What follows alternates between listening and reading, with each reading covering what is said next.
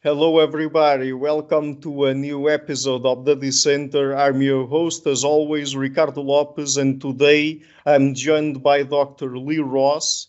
He is a professor of psychology at Stanford University and the co founder of the Stanford Center on Conflict and Negotiation. He's been the recipient of several awards. He's the author of three influential books Human Inference and the Person and the Situation, both with Richard Nisbett, and more recently, The Wisest One in the Room with Thomas Gilovich, and many highly cited papers. His research on attributional biases and shortcomings in human inference has exerted a major impact in social psychology and the field of human inference, judgment, and decision making. Among the phenomena he identified and has explored are the fundamental attribution error, the false consensus effect, the reactive devaluation, the hostile media phenomenon, and the convictions of naive realism. So, Dr. Ross, thank you a lot for taking the time to come on the show. I'm happy to be here. Okay, so the first thing I would like to ask you about is the fundamental attribution error. So, what is it really about and uh, why does it occur? Well, uh, the fundamental attribution error refers to the fact that there's a, a fundamental task that we human beings do when we interact with each other, and that is we make judgments about cause. Why has someone behaved the way they do. And very often, the distinction we make are causes that have to do with the person. It might be their personality, uh, their education, something about them, uh, as opposed to something about the situation they're in. What are the influences on them? What are what compels them to behave in a particular way, and what constrains them from behaving in uh, particular ways uh, at the moment that we observe them. And sometimes we can see and we know about those influences. Sometimes we don't. We just see behavior and we ask ourselves, why is that person doing that? Why is that mother yelling at the child? Why is that man giving money to charity? Why is that other person uh, uh, so angry? Things like that. And so that's a fundamental task. And I was referring to a particular error or bias that we see, particularly in Western society, which is very individualistic and it believes a lot in responsibility and that kind of thing. And that error is to uh, overlook the importance of the situation, even when we know it, to not give it enough weight, and when we don't know it, to not consider that the behavior we're observing, the actions or the outcomes, the successes or the failures, the things that make someone look good or make them look bad, may be caused by something about the situation they're in. Mm-hmm. Okay, very well. So we think differently about our own actions and the actions of other people, uh, right? So, for example, if I make a mistake, I most of the time try to attribute it to the situation, but when is another person making a mistake, then perhaps most of the time I'm compelled to attribute the problem to something that is dispositional, that is something uh, that is about the person itself and not about the situation, right? Well, that that certainly happens. Uh, my my original formulation of the error said that we make this we make these or when we make this error attributing it to the person rather than the situation that is the fundamental attribution error. We sometimes do it about ourselves. We sometimes blame ourselves when other people would have said it wasn't your fault.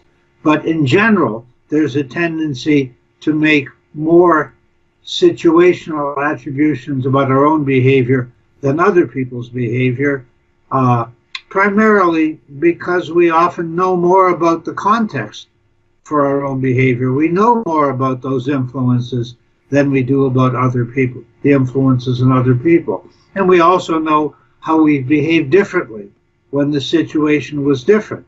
And when we observe someone else, we don't have that full awareness of all the different times they've been in different situations and how they've acted in those situations. But yes, in general, there's a tendency uh, about the self to protect the self and to, we all are motivated to see ourselves as moral, uh, rational, uh, coherent. Our behavior makes sense, it's consistent with who we are, and we are motivated to do that, yes. Mm-hmm. Exactly. Okay. Not just, by the way, we're not just motivated to make those judgments, we're also motivated to act that way, to act in ways that are consistent and that reflect well on us. Mm-hmm. Right. Uh, and what is the relationship between the fundamental attribution error and the just world phenomenon? That is, the idea that we have that people get what they deserve.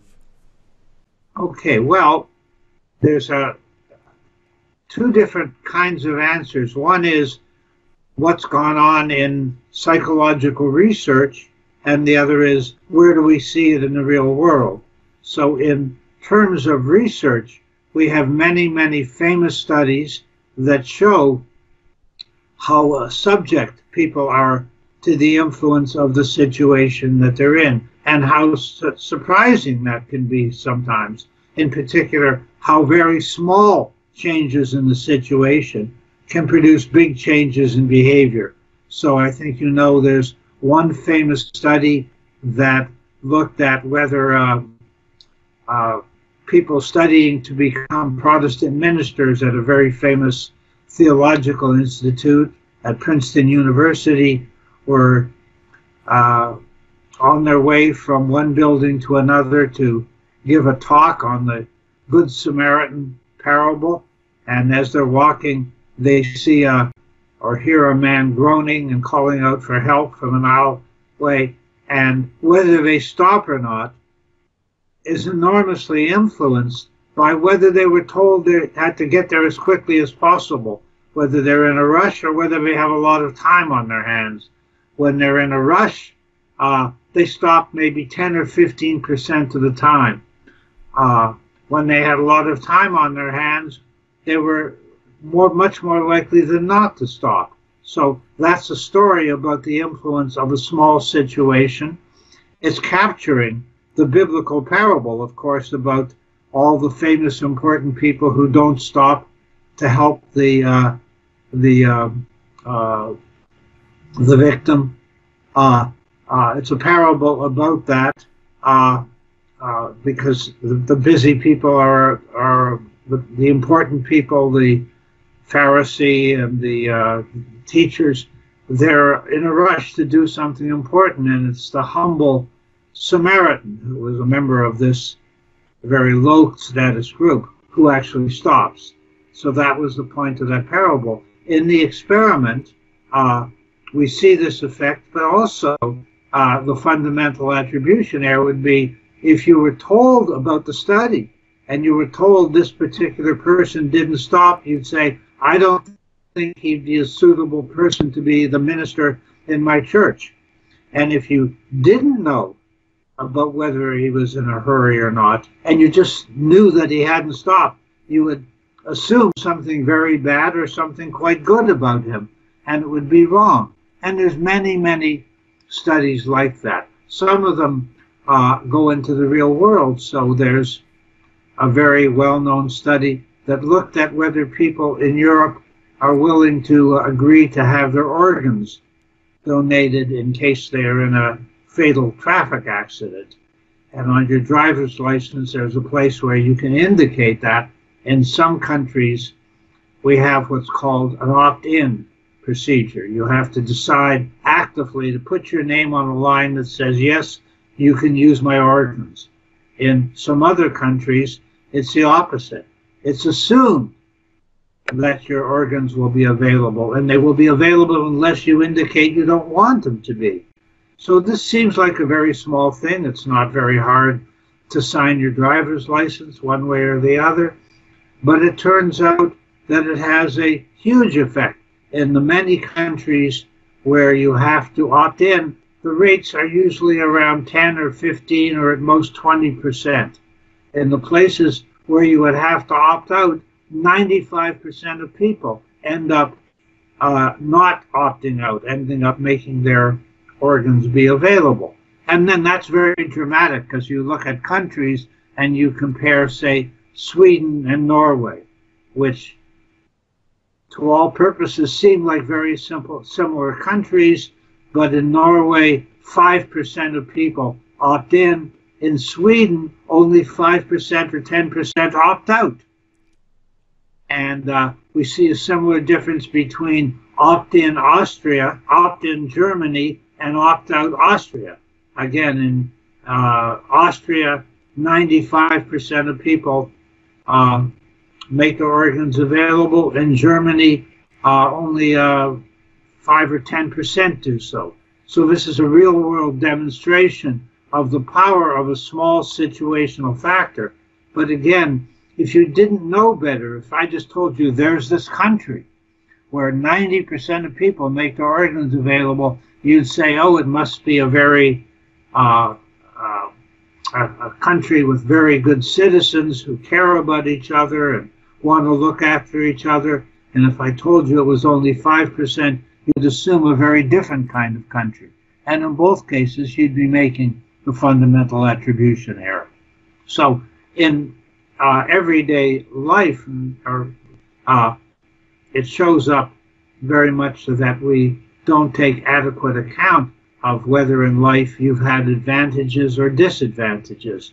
We tend to think that people who succeed are virtuous and people who fail are not so virtuous. That's a heritage of our Protestant ethic uh, culture. Of course, it also relates to the fact that all things being equal, we want to think that the world is a fair and just place and that the virtuous people get rewarded and the people who don't get rewarded are not rewarded because they're not virtuous or they don't work hard enough. And we, in doing that, we underestimate the impact of, of situational advantages or uh, disadvantages, and sometimes even small ones. Things like uh, did you happen to uh, be in the right place at the right time? Did you go on the job market in a good year or a bad year? Uh, and it shows up most, of course, when we look at people who are disadvantaged because of their race or their social class, and we underestimate the way in which obvious barriers, but also some subtle ones, just the kinds of stereotypes that people have about them and the expectations and the way people interpret their behavior. We underestimate the impact of those. My colleague Tom Gilovich, who wrote the book with me, says we're sometimes uh, we're aware of all the headwinds we face, but we're not aware of the tailwinds. So we're we're aware of the difficulties we overcome, but we forget about some of the advantages that we've had, and we don't fully recognize the ways in which just good fortune, sometimes even good luck, have uh, given us opportunities and made us be able to succeed.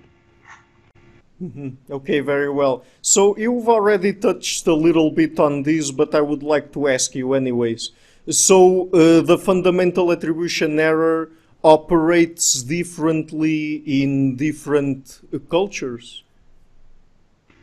Well, there is some research that suggests that people in uh, more collectivist cultures, the cultures particularly of Asia, China, Japan, Korea, of those countries, that people in those countries are more sensitive to situational pressures and constraints. In particular, they're more sensitive to social pressures and constraints, in part because they're more attentive to them. There's more of a priority put on fulfilling expectations, doing what's expected of you, doing what's approved of, uh, than in Western cultures, particularly the United States.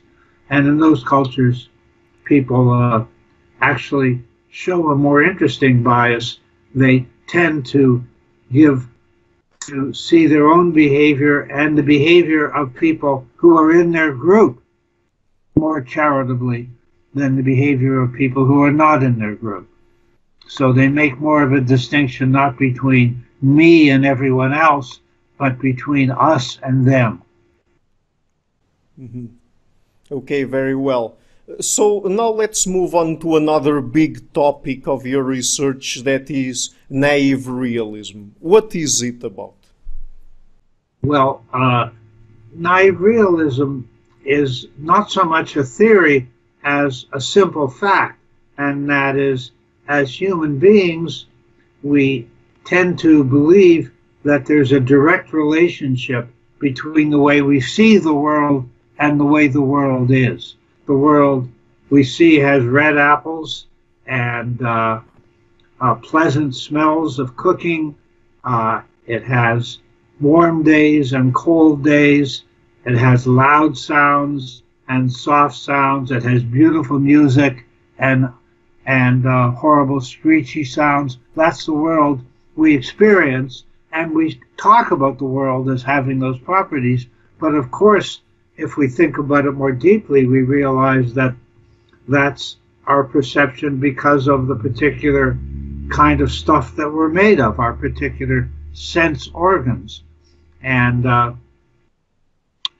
it doesn't matter that that notion that assuming that there's a one-to-one relationship, that we're seeing the world objectively in a accurate fashion, as long as we all see it the same way. And most of the time, for ordinary things, as I said, like like uh, uh, red apples and uh, and uh, Bach cantatas, we we do perceive it the same way. But of course, in a world where people have different experiences, different histories, different backgrounds, different values, they often see things differently. And when they see things differently, they ask themselves, what's wrong with the other person? Why don't they see the world the way it really is? But this isn't just about conflict, it's about a lot of everyday experiences. At the most basic level, we all have certain illusions. So when you sit down in a chair, you have the feeling, the illusion that the chair was solid and that your seat, your rear end was solid and you sat down and two solid things made contact. If you were to talk to a physicist, he'd say, no, actually, you never actually made contact with the chair. The uh, field of negatively charged particles around you and the field around the negatively charged particles particles on the chair were repelling each other. And actually you were hovering over the chair at a hundred millionth of a centimeter above the chair. And in fact, if it weren't for those fields, you'd fall right through the chair and you'd fall right through the floor because contrary to your impressions, most matter is made up of tiny amounts of matter and large amounts of space around the matter. Uh, so we have that kind of dramatic uh, way in which, uh, of course, uh, our perceptions of the world differ from the world. But in everyday experiences, we see it all the time. We see elderly couples arguing, or at least one couple says the room is too hot, the other member of the couple says the room is too cold, and they may argue about it, or if they're nice, one will adjust the thermostat to serve the other, but they'll do it believing there's something wrong with the other person. They'll say, Well, my wife is someone who's always cold, so I had to bear a room that was too hot. Or a woman will say, Well, my husband is kind of deaf, so I had to put the TV up very loud. Whereas he says, Ah, now the TV's on appropriately. And why does everyone around me whisper when they should be talking clearly? So we have these experiences all the time, uh, even the experience of what's easy and what's difficult. So I'm frustrated that my uh, teenage son doesn't know any history. How can they know so little about what's gone on in the world? Uh, on the other hand, they look at me and they say, How can dad be so incompetent with the computer? He doesn't even know he doesn't even know how to turn on Skype. and we and we think it's that our perception of what's easy and hard is right, and that people who can do things that we find difficult are very skilled, and people who can't do the things that we find easy are deficient in some ways. So this goes on all the time. But the most sinister implications of it do come in the context of conflict, where people disagree about matters of politics or matters of religion. Uh, so in America, we see a pretty deep political divide now between so called nationalists or ultra nationalists and who are conservative and, and uh, progressive liberals. And each side thinks that the other side is seeing the world the way they do because it's, their view is distorted, distorted by biased media or self interest. Uh, and uh, both groups are actually usually shocked to find out that the other group thinks that they're the ones that are biased. So, uh, liberal voters like me, when when we do research, we're shocked to find out that Trump voters think that they're the ones who are more compassionate than the liberals, and they're the ones who are are realistic and uh, are taking history into account. And it's the liberals who are deluded. They also think that they're warm and we're cold, whereas of course we have the opposite view and they would be very shocked to find out that we don't agree that they're the patriots and we're the ones who are disloyal. They'd be very unhappy. And they are very unhappy when we claim we're the patriots and they're the ones who are dishonoring the history of our country. So we see these kinds of displays uh, all the time. Uh, it also leads us to have a jaundiced view of the media. So when the media report, uh, when they do what they always do, they have someone from one side talking and then someone from the other side uh, talking. We're very unhappy. We say, how could they give equal time and weight to those scandalous people on the other side of the political spectrum? They, they, they didn't point out that they're lying and our spokesman was telling the truth. And, and that's why very often uh, we see liberals and conservatives disagree, where liberals claim the media is biased against them. It represents the business interest to control the media, and conservatives think the media is controlled by liberal elites. So we we have that impression. Mm-hmm. And if I yeah. may say so, yes, this, please go ahead. Yeah, this illusion of objectivity has lots of other uh, effects as well. It makes us not give enough weight to the opinions of people that disagree with us. We want to talk to and we accept as wise people who agree with us, and we think that people who disagree with us must be wrong. And so we've done studies that show even when people are making estimates about ordinary things, what percentage of people have a particular read a particular newspaper or uh, uh, uh, how, how, likely it is that uh, a particular party will win the election or how likely it is that uh, that a woman will will uh, fly in space or anything like that. People tend to give their own judgment more weight than the other person's judgment, and in lots of studies, we're able to show that they pay a price for doing so. That if two people average their guesses, they're better off on average than either of their guesses alone. And even when we tell them that some, someone else's guess and we let them decide how much weight to give that guess, they typically give it too little weight. In our studies, about a third of the time they give it no weight at all, and they pay a price in terms of accuracy for doing so.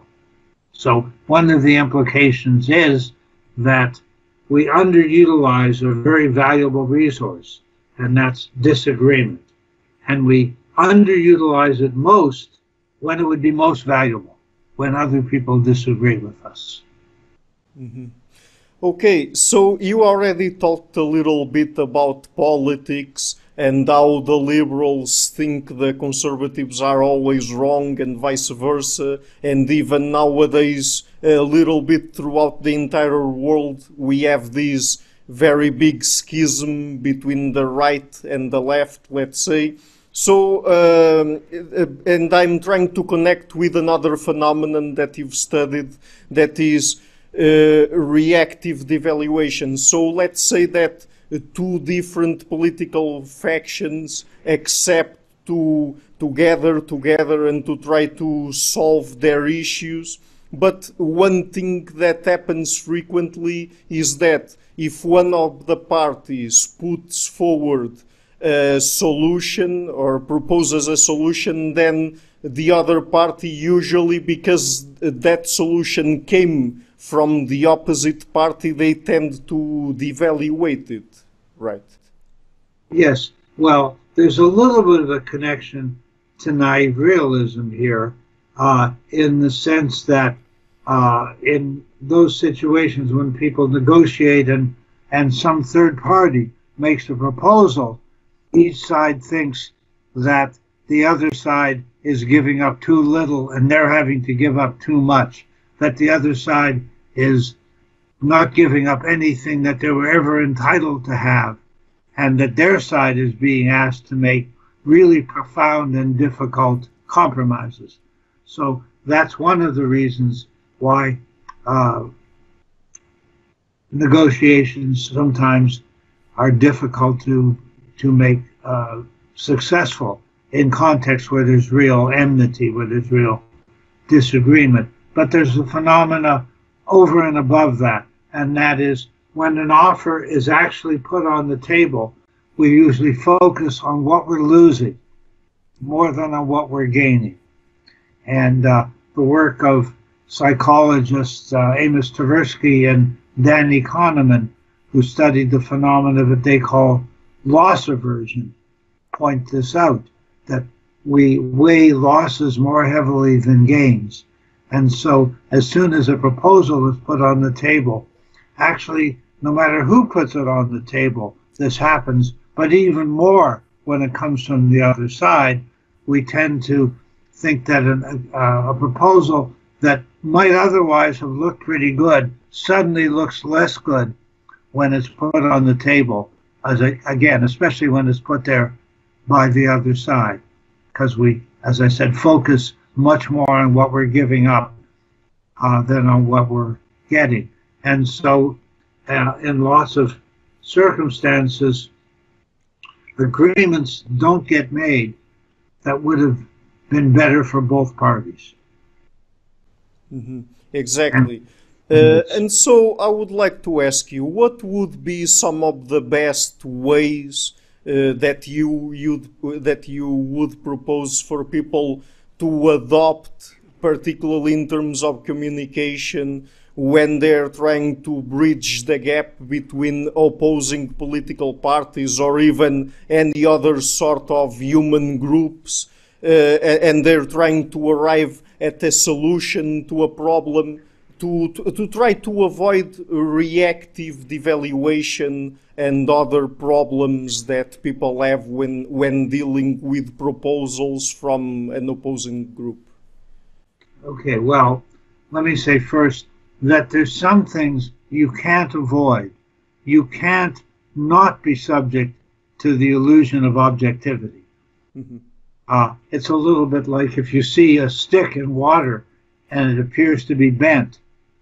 You can't not perceive the stick is bent, but you can take the stick out of the water and see that it's straight.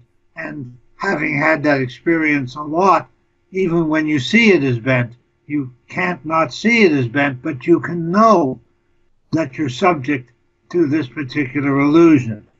So knowing about the objectivity illusion doesn't make you not experience it, but it can make you aware. And it can make you, uh, for one thing, realize that you shouldn't make a quick judgment. You should stop and engage in more deliberative thinking, not just trust your initial instinct. You might ask yourself, you might try hard to say, I wonder why that person feels that way. I wonder why that person's acting that way. Uh, what can't I see? What don't I know? And if you're really open minded, you might also go so far as to say, and why am I seeing it the way that I did? What about my education or my experience or my circumstances in life are making me see things uh, the way that I do? So um, that can be useful. Uh, in conflict uh, situations, uh, the work that I've been involved in, in uh, uh, mediation and helping parties uh, have better group dialogues, uh, we use some particular techniques. Uh, so in work in Ireland, we learned from people who do this work there that they have a process where they ask people on both sides, what do you want? And they say, first, what do you want in the way of a political disagreement? And everyone disagrees very much. In this case, the uh, the Unionists and the the national the and the uh, nationalists, the people who want a separate Irish Republic, and the people who want to stay connected to Britain, they disagree very much. We can say that about Brexit, about that disagreement. Uh, but then when we ask them what they want their neighborhood, their communities to look like, they start sounding more similar. And when we ask them what they want their own lives and the lives of their family to look out look like, they say very similar things. So sometimes having the kind of dialogue where people talk about their lives and their needs, their hopes and their fears, instead of just talking about their political positions, that can be valuable. The agreement still exists, but they don't they don't see the disagreement as evidence that there's something terrible about the other person. They come to understand it as an inevitable result. So I remember very much uh, a meeting with the uh, Israeli prime minister who said to me, this was Yitzhak Rabin, that if he were a Palestinian, he would have been a terrorist. He didn't say it would have been the right thing to do. He still thought that those people were deluded and wrong, but at least he was willing to say, if I had been subject to the same influences that they were, I would have been a terrorist. He didn't go so far as to say, and maybe I have the views that I do because of what was unique about my experience. He still thought he was seeing things accurately but, but he recognized this. Another technique, a little more uh, unusual, is that we the, we sometimes have groups. Again, we've done this in Ireland, and we've done it in the Middle East with Palestinians and Israelis, or even people on opposite sides of politics, like activists and uh, uh, people who are satisfied with the status quo. we tell them that your job before we start discussing things in detail is you have to present the views of the other side to their satisfaction. So normally people start out presenting a caricature, a very extreme, oversimplified, kind of stupid view of the other side's position. And the other side, of course, says, no, that's not our position. Keep trying. And if they keep trying very hard, and they find they're able to describe the other side's position in a way that makes sense and actually captures the other side's position, then you're ready to have a better dialogue because you're responding to what's real, at least not to this illusion. And beside that, you appreciate the effort that the other person's making, you respect their intelligence, and uh, more, you trust them a little bit more, and also, this time the fundamental attribution error actually helps a little bit. There's something about seeing someone say exactly what you believe that makes you say, well, that person isn't so bad after all. Look, he's saying all these good things, even though we know he's saying them because his job was to present my position, not his. So there are some things uh, that we learn to do that are useful. Mm-hmm. Uh, would another thing that might work when trying to communicate with an opposing party or an opposing group of people, uh, would it be perhaps to try to uh, put the emphasis on some of the fundamental values that we might share with them instead of trying to make a case directly for our side? Absolutely, absolutely. Uh, in American politics, we see this liberal conservative split. But of course, if we were to step back, we'd say they all they all believe in having a democratic society. They all believe in having the rule of law. They all believe that citizens have a duty to uh, try and make the country better. They all believe that people who are in the most difficult circumstances deserve assistance. They might disagree about what kind of assistance is best and what's too much or too little, but they do have fundamental agreements. They agree about the fact that there should be a free press. They agree on the First Amendment. Sometimes they even agree on things that if you're an outsider, you find surprising.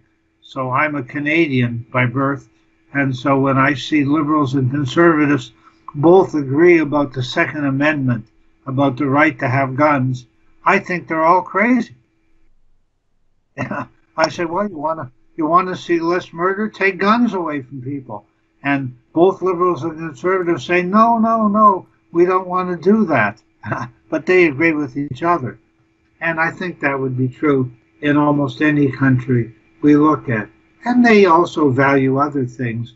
Uh, in most European countries, they have shared tastes in food, shared tastes in music, shared historical memories. And so the more you make people aware of what they share, the more it makes them ask exactly why does the person disagree about other things when that person is like me in lots of ways. It's interesting. One of the things we sometimes do is have people from different conflicts be together.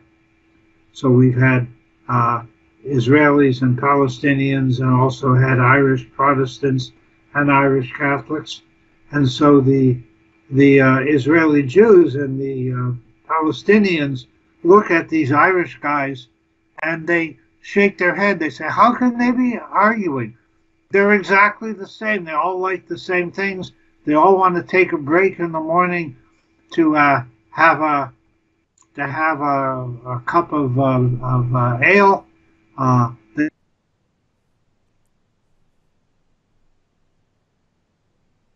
of language the same way, they sound the same, they have the same accent. They can't believe that these people can't get along.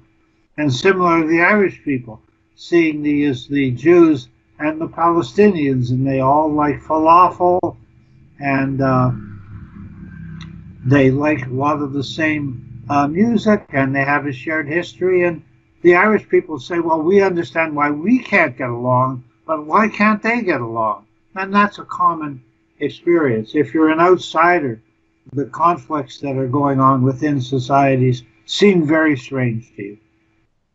Mm-hmm. Okay, very well. So, Dr. Ross, just before we go, would you like to tell people what are some of the best resources for them to get in touch with your work, either online resources or something outside the internet as well? Oh, nowadays in the in the world of the internet, if you just Google Lee Ross psychologist, you'll learn more than you want to learn about me and the research I've done. Uh, I've also have some books that are available. I'll hold one up. Uh, this is the wisest one in the room, and this describes uh, what it is that people who we think are wise know what lessons they think they've learned and un- what they understand and how they behave differently and uh, the ways in which a fairly deep understanding of both the way people think and the things that lead them to make errors, an understanding of those can make you wiser and more successful.